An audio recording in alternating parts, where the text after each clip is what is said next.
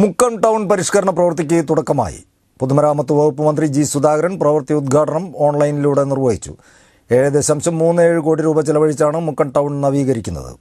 മലയോര മേഖലയുടെ ആസ്ഥാനമായ മുക്കത്തിന്റെ മുഖച്ഛായ മാറുന്ന മുക്കം ടൗൺ പരിഷ്കരണ പ്രവൃത്തിക്കാണ് തുടക്കമായത്.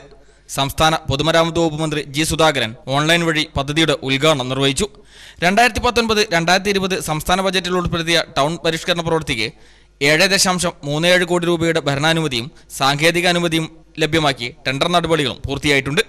അഭിലാഷ് ജംഗ്ഷൻ മുതൽ മുക്കം പാലം വരെ നാല് ലൈൻ ട്രാഫിക് കലുങ്കുകൾ ഡ്രൈനേജ് ടൈൽ വിരിച്ച നടപ്പാത ഹാൻഡ് റെയിൽ പുല്ല് വിരിച്ച മീഡിയൻ തെരുവിളക്കുകൾ എന്നിവയും അഭിലാഷ് ജംഗ്ഷൻ മുതൽ ആലിഞ്ചോട് വരെ ബി എം ബി സി നിലവാരത്തിൽ റോഡും ആലിഞ്ചോട് മുതൽ പി സി ജംഗ്ഷൻ വരെ ഇന്റർലോക്ക് വിരിച്ച പാതയുമാണ് ആദ്യഘട്ടത്തിൽ ഉൾപ്പെടുത്തിയിട്ടുള്ളത്. ടൗണിലെ അഭിലാഷ് ജംഗ്ഷൻ മുതൽ മുക്കം പാലം വരെ അറുന്നൂറ് മീറ്റർ നീളത്തിലാണ് റോഡ് പതിനാല് മീറ്ററായി വീതി കൂട്ടുക മധ്യത്തിൽ മീഡിയം സ്ഥാപിച്ച നാല് വരെ ട്രാഫിക് ആണ് ഉണ്ടാവുക. ആധുനിക സാങ്കേതികവിദ്യയായി ബി എം ബി സി നിലവാരത്തിലാണ് ചെയ്യുന്നത്.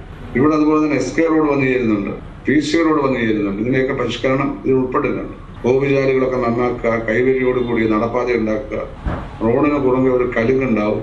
റോഡിന് ഗോപിചാലിനിടയിലുള്ള അനുയോജ്യമായ സ്ഥലങ്ങൾ കോൺക്രീറ്റ് കട്ടകൾ ടൈൽസ് ഭാഗം വൃത്തിയാക്കും. സമഗ്ര മാസ്റ്റർ പ്ലാനിന്റെ ഭാഗമായുള്ള അടുത്ത ഘട്ടം അടുത്ത ബജറ്റിൽ ഉൾപ്പെടുത്തി അനുവദിക്കും. കാസർഗോഡ് ആസ്ഥാനമായി പ്രവർത്തിക്കുന്ന നിർമ്മാണ കമ്പനിയാണ് കരാർ ഏറ്റെടുത്തിരിക്കുന്നത്. ചടങ്ങിൽ Georgen Thomas M L A അധ്യക്ഷനായി നഗരസഭാ chairman V Kunhan master councillor Mukkam Vijayan Sali C B T Viswanathan T T Sulaiman K Mohan master Najeeb Kalpur T K Sami Tarzan Joseph Hesin Aushad T Ashokan നഗരസഭാ secretary N K Harish പൊതുമരാമത്ത് വകുപ്പ് executive engineer K Vinayaraj Kunnamangalam assistant engineer Moosin Amin എന്നിവർ സംസാരിച്ചു.